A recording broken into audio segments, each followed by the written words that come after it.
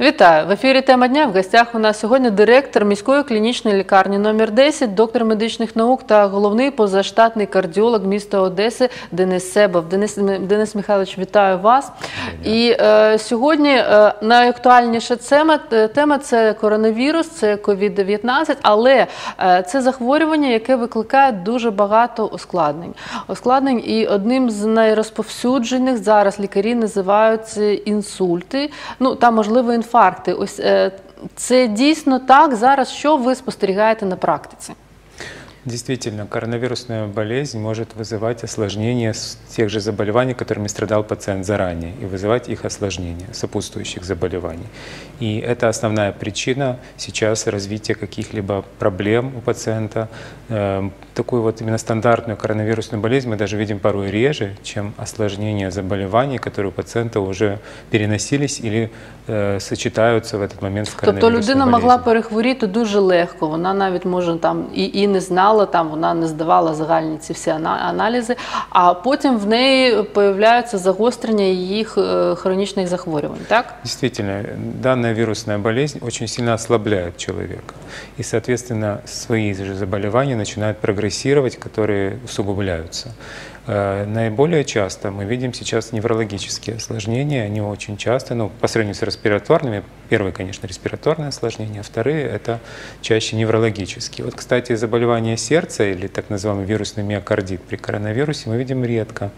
В статистике тобто це мировой... запалення серцевих м'яз, так? Да, воспаление сердечной мышцы в момент, э, обусловленное коронавирусной болезнью, так называемый вирусный миокардит коронавирусной природы. так ось його е, не так багато, так? А, Статистика мировая это 7%, некоторые дают до 10%, но на самом деле вот в Одесском регионе ми видим її реже.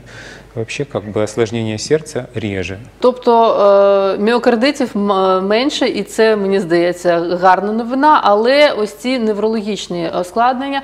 е, По-перше, це інсульти, я так розумію. Чи е, ще якісь? К сожалению, инсульты видим очень часто, и вообще все, что касается неврологических осложнений, это часто. И э, мы это связываем с тем, что происходит так называемая гипоксия мозга. Респираторные э, проявления уменьшают сатурацию, то есть насыщение кислорода кровью, и это напрямую влияет на мозговую функцию. Мы видим вот такие осложнения, как э, гипоперфузия, энцефалопатия, страдания головного мозга. Некоторые пациенты переживают это, наоборот, с психоэмоциональным возбуждением. Очень э, серьезного э, такое осложнение тоже видим. Но и, к сожалению, очень часто инсульты, особенно у тех пациентов, которые к ним предрасположены и имеют заболевания, которые дают осложнения в виде инсультов. Это мерцательная аритмия, это пациенты с атеросклерозом.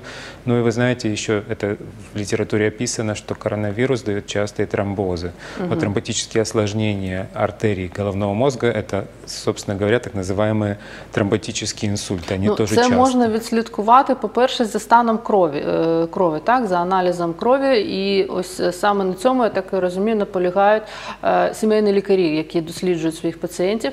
Тобто дуже важливо е, дос- досліджувати цей стан. Які питання е, мо- можна завдати, е, коли ми бачимо аналіз крові? Тобто за чим по- потрібно слідкувати? Вы знаете, коронавирус имеет специфические э, лабораторные диагностические э, исследования, которые, в принципе, раньше мы мало использовали, или, скажем так, использовали реже. Э, в первую очередь, это так называемый D-димер. Это э, специальное э, лабораторное исследование, которое показывает способность э, в кровь э, превратиться быстро в тромб. То есть это... Тобто і, і, і цього п- параметру його немає в загальному аналізі крові, так? Нет, нет, его нет в общем анализе крови. Это специальный биохимический анализ, который проводится для того, чтобы определить способность крови к внутрисосудистому свертыванию. И это очень важный показатель для того, чтобы определить, есть ли склонность к тромбообразованию у этого пациента. Ну, мені здається, то, бо е, якщо це йде мова там, на- наприклад, про діабет чи там про е, захворювання е, нирок чи ще щось, ну про людина про це знає. Про те, що в неї хронічна там якась схильність до інсульту, на жаль, про це людина ну взагалі-то не знає, так? Тобто це з- завжди раптово. Инсульт – это осложнение. Инс- э, природа инсульта тоже бывает разная. Предпосылки – это либо атеросклероз, это э, накопление бляшек в сосудах, которые могут потом дестабилизироваться и э, тем самым вызывать тромбоз. Ну про це людина, яка слідкує за своїм здоров'ям і регулярно здає аналіз крові, вона про це знає. Э, Конечно, Да. конечно. То есть это можно определить так называемыми методами визуализации. Это доплеровское исследование сосудов мозга, нижней конечности, э, так называемой коронарной ангиографии, как компьютерные, так и прямые. То есть если есть предположение, что есть у пациента атеросклероз, эта вся методика докторами предлагается, это можно выполнить без проблем сейчас э, в здравоохранении. Так, а ще які схильності? А, Аритмия. Э, Мерцательная аритмия – это тот вид… Ну, э, роз, роз, да, дуже розповсюджений діагноз, Такое, да, простонародное название. Если мы говорим на медицинском, фибрилляция предсердий – это тот вид аритмии, который есть у процента, у одного процента населения. То есть мы говорим о частой аритмии, и ее э, осложнение – это тоже инсульт. Более того, 30% инсультов, которые попадают в стационары – это причина тромбогенная вследствие мерцательной аритмии. так? Взагалі у цих умовах, коли е, е, люди хворіють на ковід, і дуже важливо ось диференціювати хворих, які поступають до вас е, до лікарні.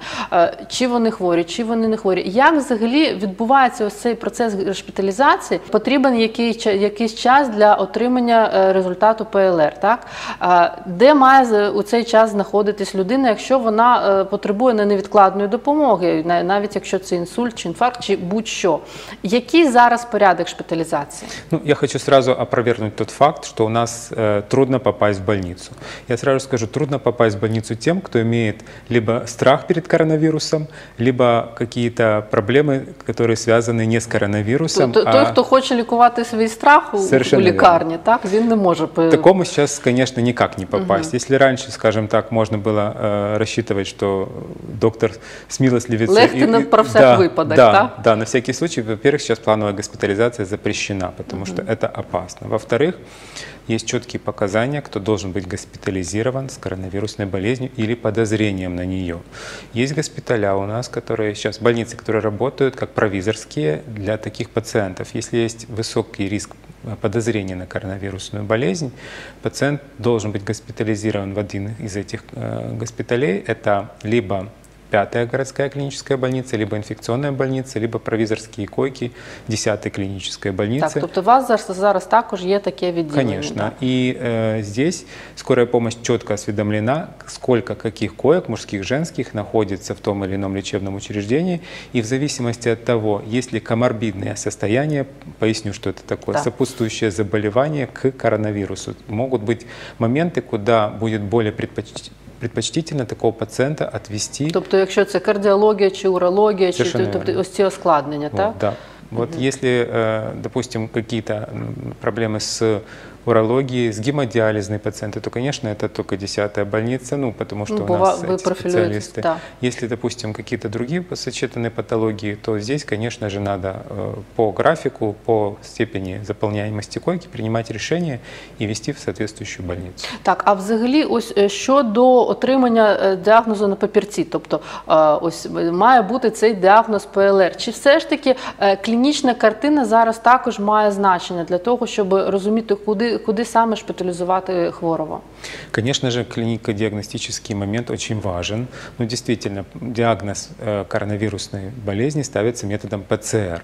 То есть пока мы не видим положительный ПЦР, мы все-таки к пациенту относимся для его же блага, как к отрицательному. Почему? Потому что вирусная нагрузка тоже есть. Если мы отрицательного пациента положим в ковидный госпиталь, то э, отсутствие коронавируса может еще добавиться с коронавирусом э, соответствующие проблемы. Поэтому Але він може бути із коронавірусом, і він е, от, е, опиняється у відділенні, де люди лежать е, ну, без підозр на ковід, так? а, Чи такі, такі випадки також Ні. якось регулюються? Получается, есть специальное отделение, э, которые, А ті, хто отдают- не визначився? которые да, оказывают помощь к коронавирусным. А есть отделение, так называемые провирос- провизорские койки, где именно подозрительные. А де- в- і вони там чекають. Это да. абсолютно разных два клинических маршрута, и эти пациенты между собой Не не, перетинаются. пересекаются, потому что это э, опасно как для тех, так и для других. Поэтому не А стоит. що зараз взагалі із діагностикою? Бо дійсно мені здається дуже багато зараз е, ось цих клінічних картин, але е, результатів ПЛР немає позитивних, тобто ну, людина нібито хвора із всіми симптомами, а ПЛР е, поз- е, негативний. Чому так? Це тому, що вірус е, вже змінюється, чи все ж таки це питання до як, якості забору матеріалу, до якості ви- виконання цих е, досліджень? На самом деле коронавирус не единственный вирус респираторный, который существует. Да, он це сейчас, зрозуміло. он так, сейчас він, за- завладел він своим зараз в цар- топі. Так. Да, он завладел своим царством, но все, все равно его коллеги-вирусы респираторные, к сожалению, существуют. Мы знаем о том, что была недавно эпидемия несколько лет назад гриппа H1N1. Мы знаем, что сейчас возможна эпидемия гриппа потенциально. И поэтому мы сейчас предлагаем всем вакцинироваться в этот так называемый холодный период предэпидемический, да, чтобы улучшить прослойку иммунитета и обеспечить минимальные Щоб возможности. хоча б на грип нас не хворіли. Да, Так. ну и плюс еще остальные коронавирусы, их 39 штук известно сейчас, известно. Вот, поэтому как бы можно говорить о том, что Є вибір, так. да, пациент, к сожалению, может болеть и другими формами респираторного вирусного заболевания, и присоединение коронавируса однозначно будет отнюдь не в его пользу. Мгм. Але ну все ж таки коронавірус зараз так от він дійсно е, з- захватує простір. Но е, люди не перестають хворіти на інші хвороби, тобто це і інсульти не ковідні, і інфаркти, і проблеми з нирками, з діабетом і так далі. Е, як цим людям зараз е, лікуватись? Як вони мають отримувати лікування? Сейчас э, все службы также работают и работают в штатном режиме. Все э, службы инфаркта, инсульта, они также работают. Поэтому надо будет обращаться в эти службы соответствующие. Но здесь есть, конечно, особенности. Любой пациент, который без ковидного статуса, так сказать, да, неизвестным, он э, э, должен помещаться в так называемую грязную зону отделения, где к нему относятся как потенциально подозрительному на коронавирус. Це Делать- дуже цікаво. з- Це цікаво для нашого вуха, там потенційно підозри і так, і так далі. І майже якийсь детектив, але дійсно зараз дуже важко звичайної людині розібратися, якщо вона хворіє, куди йти, чому її сюди, а не сюди, а як далі бути. Это делается специально для персонала, чтобы, не дай бог, не подвергнуть персонал риску заражения. После того, как мы получ- получаем иммуноглобулин М, его можно сделать быстро по и- методу ИФА, иммуноферментному анализу.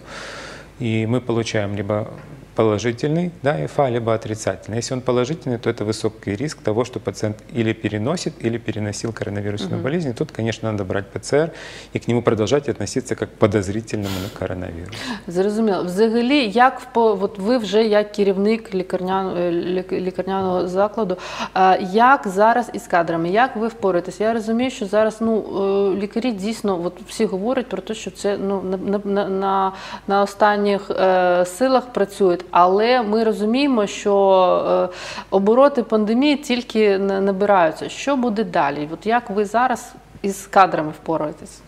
Э, Что касается нашей больницы городской 10, э, у нас развернуто отделение оказания помощи пациентам как с подозрением, так и больных на коронавирусную болезнь.